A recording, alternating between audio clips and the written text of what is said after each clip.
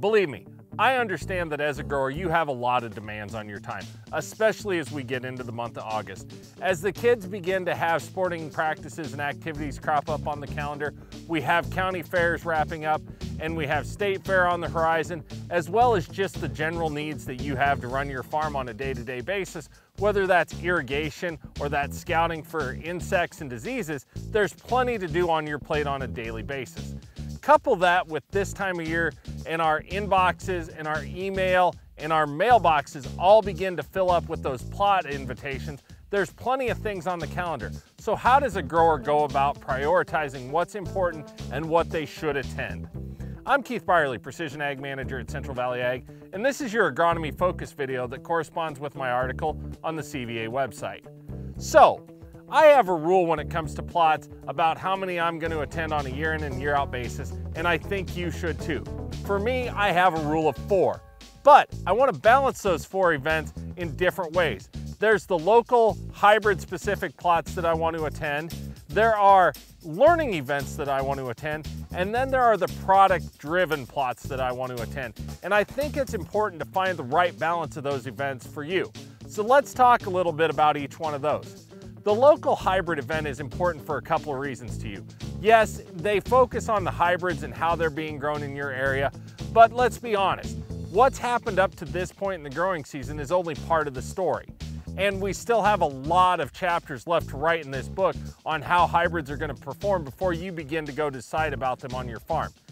The honest truth is, is that more of you make hybrid decisions based on your trusted advisor and what those seed companies tell you about the hybrids than any other reason. So if I say that, why do I say that those local hybrid plots are still important? It's because of the social aspect.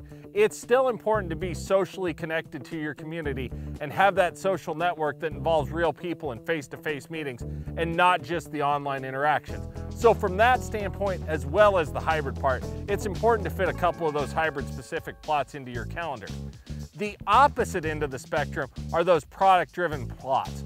When I talk about those, I think about the events like 360 Yield Center or Precision Planting, where they have big farms in Illinois that focus on their specific products and the agronomics that go into developing those products that you're potentially thinking about investing for your farm. I think it's really important to make sure that you plan one of those in every year or every other year. Grab your neighbors, grab some of those friends that you have from the online social media and meet them out there and attend those events that interest you and make sure that those are part of that schedule of plots that you have on a year in and year out basis.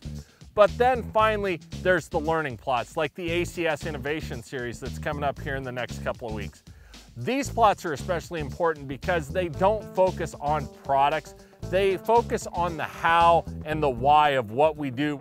A lot of plans go into the pre-season part and the pre-planning part of what we do, but how do we adapt to the hand that Mother Nature gives us? How do we adapt to the weather challenges, the climate challenges, and all of those other things? And why are we deciding on those decisions that we decide on? Those sort of learning events are incredibly important to stay connected to what's new in farming and what those impacts could be and how you need to invest your limited resources in years to come. As I said, it's important to find the right balance of those things for you and set a rule and then stick to it.